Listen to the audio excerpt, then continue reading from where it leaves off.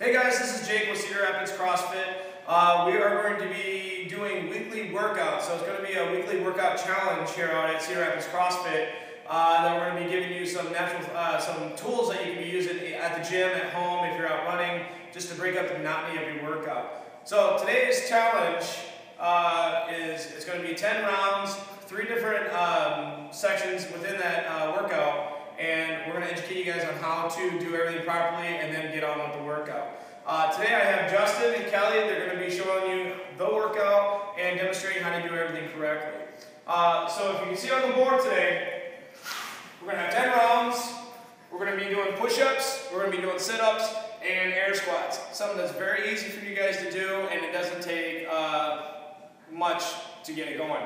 Uh, so we're going to do 10 push-ups, 10 sit-ups, 10 air squats.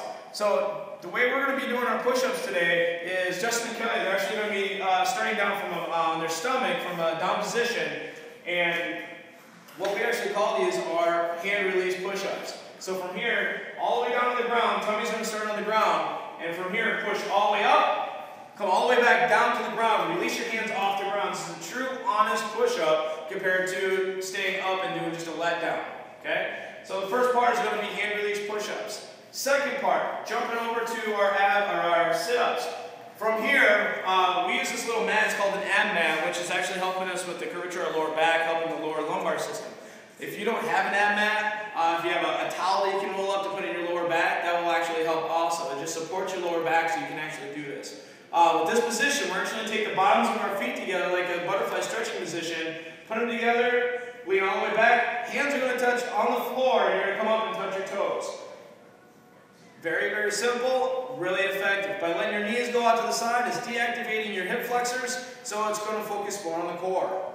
The third part is going to be our ab or uh, I'm sorry, our air squats. So, what we're using for our squats today is just a, a regular uh, size med ball. And from here, the idea is to try to break 90 degrees with your knees. So, keeping your chest up, squatting all the way down, your butt's going 90 degrees, or if you can go past a little bit, that's what we're looking for. Keeping the chest up, eyes forward, down and up, very simple. It's like sitting in a chair and standing up. So uh, that's something that we do on every day, um, you know, at work, wherever it may be. So what we're gonna do, like I said, 10 rounds. We're gonna do two rounds just to kind of demonstrate and show you real time what's going on. So we'll get set up. Okay, so we're ready for the challenge, uh, the workout challenge. So in three, two, one, go! So remember when you're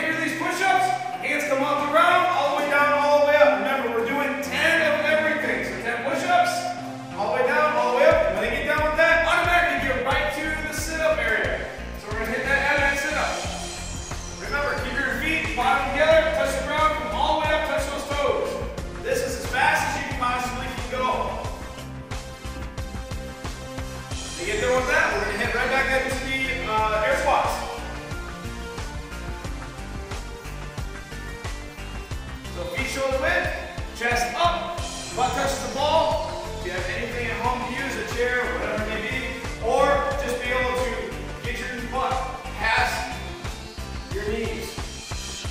We got one more round.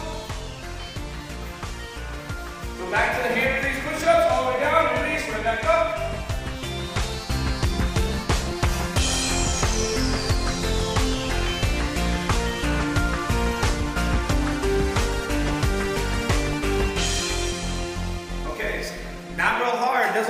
But that was only two rounds and they're already winded. So, go 10 rounds as hard and as fast as you can, and that's gonna be your challenge for the week. We'll see you next week.